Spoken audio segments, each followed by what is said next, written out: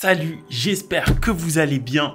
Je vous retrouve dans mon tout nouveau bureau dans lequel je suis euh, en train de faire la correction, donc de noter les euh, dessins de mes élèves parce que comme je l'ai euh, notifié dans les postes précédents, cette année j'enseigne à l'école IRTUP de Montpellier et là je suis en train de corriger leur premier dessin des exos qu'on a fait. D'accord? Donc, je commence par la direction artistique. Donc, j'enseigne dans deux sections.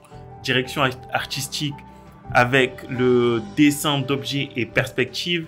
Et game design et animation avec l'anatomie et euh, corps humain, enfin morphologie, euh, proportion et anatomie. Ok? Et donc là, je commence par le dessin, donc euh, la direction artistique avec les dessins de perspective je vais les corriger et en même temps, je vais vous partager ce qu'il y a à corriger, d'accord? Parce qu'il y a des élèves qui ont des... Euh, le, niveau est assez varié. Il y en a qui sont assez bons directement, qui ont déjà étudié le dessin et d'autres qui le sont beaucoup moins. Et je vais vous euh, noter un peu quels sont les défauts et comment vous, est-ce que vous pouvez les corriger également sur euh, vos dessins. Mais c'est pas tout parce que en allant à Montpellier il y a, vous connaissez aussi certainement l'artiste Mark Lane euh, que j'ai rencontré et qui m'a offert son livre. Donc le dessin réaliste et donc je le remercie. Donc si vous voulez en savoir un peu plus sur le dessin réaliste, je vous conseille d'acheter ce livre. Il traite de plusieurs sujets, d'accord? Donc ça va pas en détail, mais franchement il euh, traite de, de, la, surface. Il explique assez bien euh, comment appliquer les différentes étapes dans un dessin et surtout en ce qui concerne les ombres et les lumières, là c'est très très détaillé donc franchement c'est top. J'en dis pas plus, j'en dirai peut-être plus dans une prochaine vidéo mais en tout cas voilà, merci à lui. Et euh, ben, écoutez, on va démarrer avec les corrections des élèves. Donc, y a, donc là, on faisait un, exercice sur la perspective et j'expliquais les, euh, les trois bases et les trois principes de la perspective, ok? Je vais pas entrer dans les détails, je vais pas toutes vous les donner et en plus j'ai déjà fait des vidéos sur la perspective, donc si vous voulez en savoir davantage, allez les voir. Mais en gros, les trois bases, c'est ligne d'horizon, le niveau des yeux, point de fuite et ligne de fuite. Ok, si vous suivez bien mes vidéos, vous connaissez tout de la perspective ou presque. Et donc, il y a des élèves qui appliquent cette perspective, mais pas forcément ou pas toujours de la bonne façon. Par exemple, sur ce dessin, hop, on va avoir une perspective à deux points de fuite, donc tous les, toutes les lignes de fuite fuient bien vers le point de fuite. Mais quand tu vas ajouter d'autres objets, eh bien, ces objets-là vont pas forcément fuir vers un point de fuite, ce qui est une grosse erreur parce que dans la perspective à deux points de fuite, toutes les lignes horizontales fuient vers un point de fuite qui se trouve à droite ou à gauche. Ici, on a des arbres, vous voyez, là, qui fuient vers le point de fuite, mais la ligne de fuite, les lignes de fuite ne sont pas alignées sur les arbres, ou les arbres ne sont pas alignés sur les lignes de fuite. Du coup, ce qui est une, et ce qui est une erreur. Et donc, faut bien retenir, bien se mettre en tête que tout même euh, ce qui n'est pas l'objet principal doit fuir vers les points de fuite. Et en plus, dans le système d'annotation, il y a trois formes d'annotation. Donc, il y a acquis pour ceux qui maîtrisent, en cours d'acquisition pour ceux qui progressent et qui ont encore des choses à, améliorer dans leur dessin, et non acquis pour ceux qui maîtrisent absolument pas. Mais voilà. Donc, celui-ci, euh, est-ce que c'est la même personne? C'est la même personne. Donc dans un dessin, le, euh, système n'est pas trop acquis. Et dans l'autre dessin, c'est euh, en cours d'acquisition. Et dans celui-ci, c'est totalement acquis. Mais c'est là ici, c'est une perspective à 3 points de fuite. J'ai l'impression qu'il maîtrise mieux le 3 points de fuite que le 2 points de fuite. Ensuite, il y en a qui, qui, qui, ont passé quelques années, quelques mois à étudier la perspective et qui n'ont aucun mal avec l'exercice que je leur donne, comme celui-ci. Ici, vous voyez, qui est vraiment pas mal. Qui devait dessiner la maison. L'exercice de, de la perspective à deux points de fuite, c'était une maison totalement qui. On voit que les, euh, les lignes de fuite fuient bien vers les points de fuite. Mais l'une des erreurs que beaucoup font, c'est que quand j'explique que la de, les lignes de fuite doivent fuir vers un point de fuite qui se trouve à droite ou à gauche, ils vont pas en prendre en compte que toutes les lignes de fuite fuient vers un point de fuite. Donc, certaines lignes de fuite, comme la fenêtre que vous voyez là, eh vont fuir vers un point de fuite qui est euh, ailleurs. Et des fois, même pas sur la ligne d'horizon. Alors que toutes les lignes de fuite fuient bien vers un point de fuite qui se trouve à droite ou à gauche. C'est quand même euh, simple à comprendre, non? Maîtrise totale, félicitations. En tout cas, je continue. J'ai 33 euh, élèves et je dois euh, corriger tout ça au moins pour, pour la perspective. Ok, donc il y a tout ça. Et ensuite, j'aurai autant de fiches à, à corriger pour l'anatomie. Donc, je continue et lorsqu'il y aura des choses à dire, je, je vous, j'interviendrai pour les dire.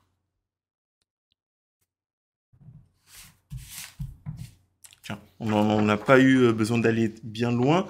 Pour celui-ci, en fait, vous voyez, une des choses importantes dans dans le, pas dans l'anatomie, mais dans la perspective ou dans tout ce que vous dessinez, c'est de toujours faire attention aux différents espaces que vous allez retrouver entre deux éléments. Quand vous dessinez un élément, dessinez toujours cet élément par rapport à tout ce qu'il y a autour. C'est-à-dire que sur ce, sur ce dessin ou sur la photo, normalement, la table se trouvait juste en dessous du lit et l'espace entre le meuble ici et la table était beaucoup plus grand. Vous voyez, alors que si vous manquez d'observation, qui est la chose la plus importante dans le dessin, vous allez faire ce type d'erreur. Il faut toujours faire attention à ce que les éléments soient bien espacés entre les uns aux autres, ok? Placez toujours un élément par rapport à l'autre et placez toujours la dimension de l'élément par rapport à toutes les autres dimensions qu'il y a dans la photo. Et évitez de faire trop de traits également. Trop de traits comme ça là. Hop. Vous voyez, euh, au bout d'un moment, on finit par être perdu. Si vous faites trop de traits, au bout d'un moment, il faut que, pour que le dessin reste net, il faut toujours qu'il y ait une certaine netteté dans un dessin, eh bien, effacer les couches euh, inférieures, euh, les, couches antérieure, de manière à ce que le dessin euh, ait une certaine clarté. Et en tout cas, on a une, certaine maîtrise, c'est pas trop mal, mais c'est en cours d'acquisition parce qu'il y a encore euh, des erreurs euh, à mettre en place, ou à corriger plutôt.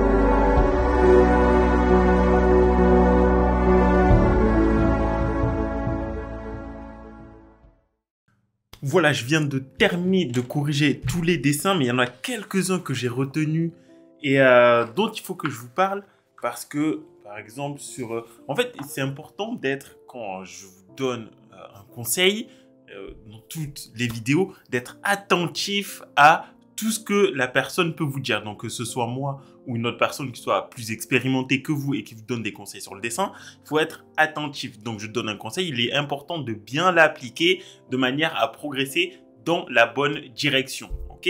Et donc, admettons, j'explique que toutes les lignes de fuite doivent fuir vers un point de fuite. Et sur ce dessin, qui paraît très bien, d'accord? On va avoir les, lignes de la fenêtre, ici, vous voyez, qui ne fuit pas vers le point de fuite. Or, ça va créer quelque chose de qui peut, qui peut paraître cohérent euh, quand on le voit à première vue, mais au bout d'un moment, on va se rendre compte qu'il y a des choses qui ne vont pas et ça gâche un peu le dessin. Vous voyez Donc, important de vraiment tout bien appliquer. C'est pas parce que les grandes lignes fuient vers le point de fuite que ça veut dire que toutes les autres lignes ne fuient pas vers le point de fuite, que ce soit du plus grand au plus petit objet, tout ce qui doit fuir vers le point de fuite, enfin toutes les lignes horizontales fuient vers le point de fuite qui se trouve à droite ou à gauche.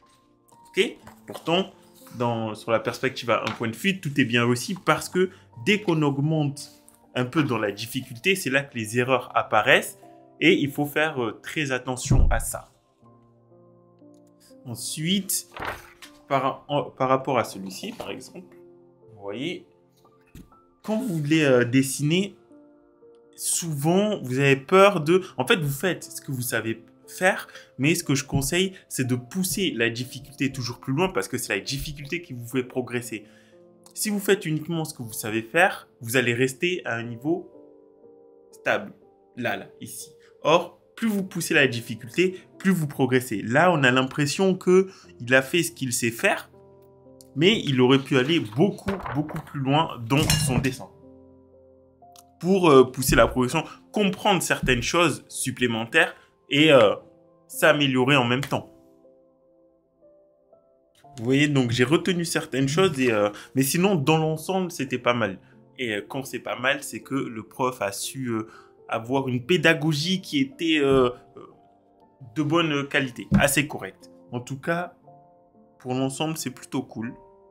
C'est plutôt cool. Et même euh, sur celui-ci, je dirais exactement la même chose. C'est-à-dire que dans, tout dessin, dès que on vous dit, dès qu'on vous donne euh, un conseil, ce conseil est valable pour absolument tout. Ce n'est pas valable pour ce trait ou tel muscle ou tel point de fuite ou euh, telle ligne de fuite, d'accord? Une base est valable pour tous les sujets de dessin.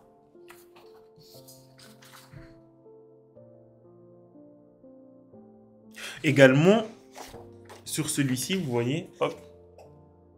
Moi, je, sais, je, connais la photo, donc je peux vous afficher la photo.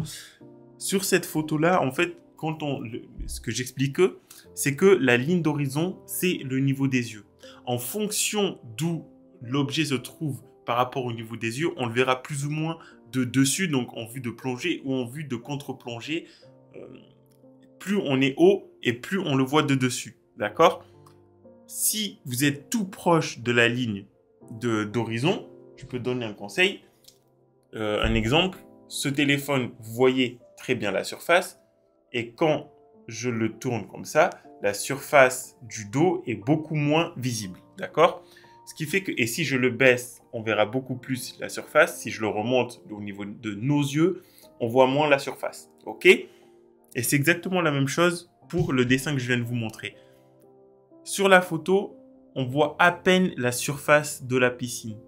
Donc ça veut dire que la piscine est tout proche du niveau de nos yeux. Donc il faut faire attention à ce genre de choses. Encore, il faut toujours se poser la question à quel niveau est-ce que je me trouve au-dessus ou en dessous de l'objet?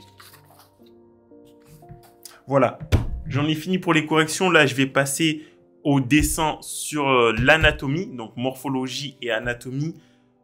J'espère en tout cas que la vidéo vous aura plu. Moi, je vais continuer mes corrections. Bye